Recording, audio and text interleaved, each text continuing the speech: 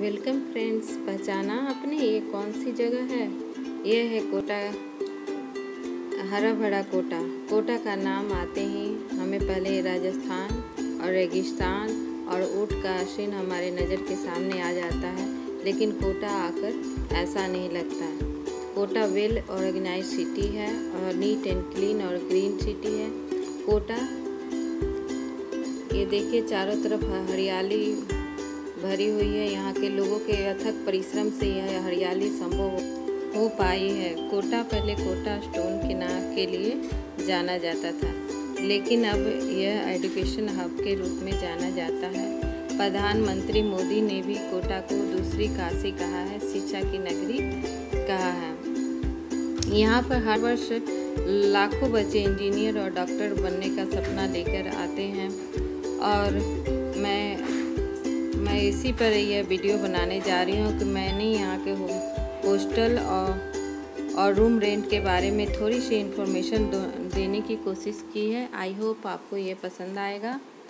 सबसे पहले मैं हॉस्टल के बारे में बताती हूँ। यहाँ के गर्ल्स और बॉयज़ दोनों के लिए अलग अलग हॉस्टल की व्यवस्था है। हॉस्टल में सिंगल और डबल दोनों दोनों तरह के रूम हैं। और हॉस्टल में mess, laundry, AC, cooler, locker, अलमीरा, बेड, सब तरह की सुविधाएँ हैं और फैसिलिटीज़ हैं।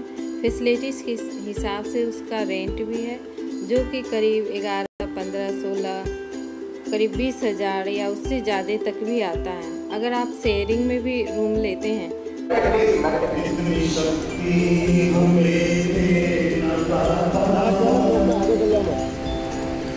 मन का विश्वास कमज़ोर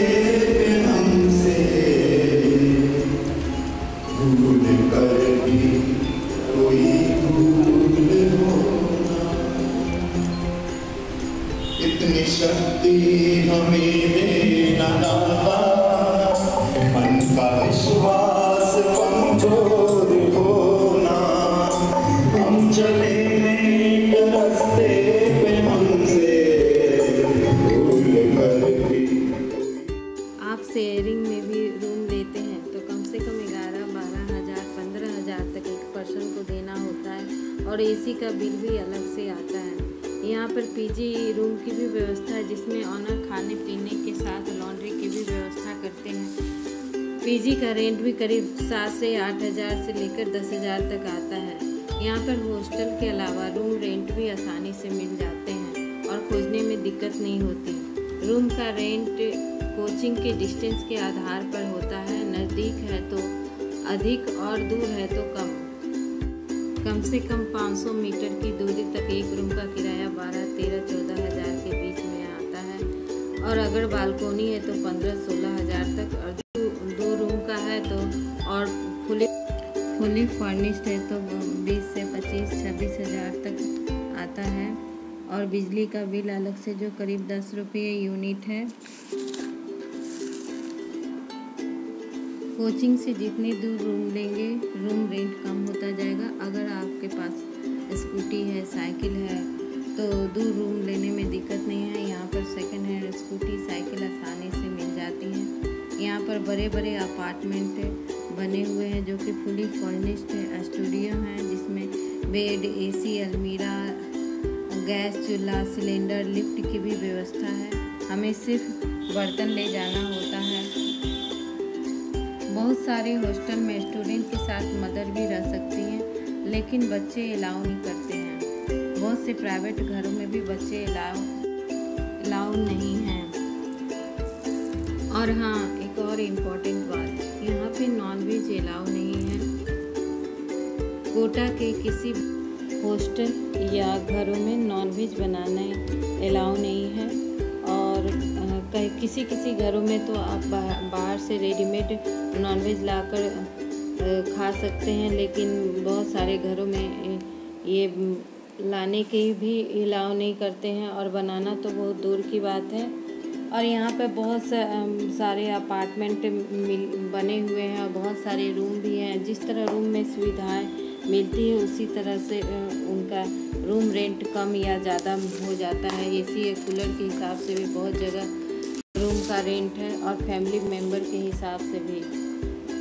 और बहुत जगह फैमिली मेंबर में गैदरिंग अलाउ नहीं करते हैं क्योंकि इससे पढ़ाई में बहुत डिस्टर्बेंस होता है। आई थिंक आपको मेरा ये मेरी ये थोड़ी सी जानकारी आपको बहुत आपके लिए काफ़ी हेल्पफुल सा, साबित हुई होगी।